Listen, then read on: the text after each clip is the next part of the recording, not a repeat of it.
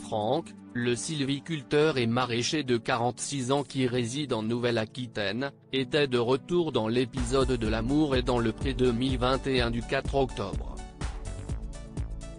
Ses prétendantes Annelise, professeure de lettres de 40 ans, et Cécile, 43 ans, qui travaille dans un laboratoire d'analyse sensorielle, sont chez lui.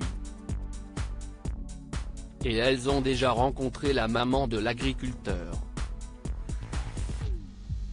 Dans ce nouvel épisode, Annelise et Cécile ont eu le droit à un réveil en fanfare avant de partir travailler un peu, en forêt. Et comme à son habitude, la professeure n'a pas manqué de faire du rentre-dedans à Franck pour tenter de se démarquer. Lors d'un tête-à-tête, la prétendante comparée à Lynn Renault a redit à quel point elle était dans son univers mais un détail intriguait Franck. Elle a pour projet de développer la ferme familiale à La Rochelle, ce qui pourrait l'obliger à y rester ce ne serait pas facile pour une vie commune. Je me suis demandé comment on pourrait faire. Tu as des atouts énormes pour moi, tu es idéal. Mais je me dis, comment faire pour vivre ensemble?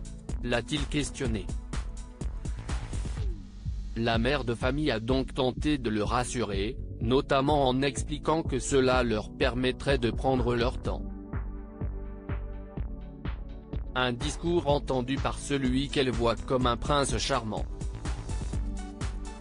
Franck s'est ensuite entretenu avec Annelise qui était prête à tout quitter pour lui. Et elle savait que son rôle de potentiel beau-père lui tenait à cœur, elle a donc évoqué ses enfants sans manquer de lui dire qu'elle était attirée par lui. Très vite, leurs mains se sont entrelacées et la prétendante lui a déposé un baiser sur la main. De quoi gêner un peu l'agriculteur qui est plutôt pudique. Je l'ai senti un peu effrayé. Mais tant pis je lui ai pris la main, j'avais envie de ce contact, a confié la rivale de Cécile. Alors que l'agriculteur pencherait plus pour Annelise à l'heure actuelle, car elle était prête à être à ses côtés tous les jours. En dehors de ces rendez-vous galants, une scène plutôt drôle a marqué les esprits. Pour le goûter, Franck avait prévu une pâtisserie de chez lui. en forme de partie intime masculine.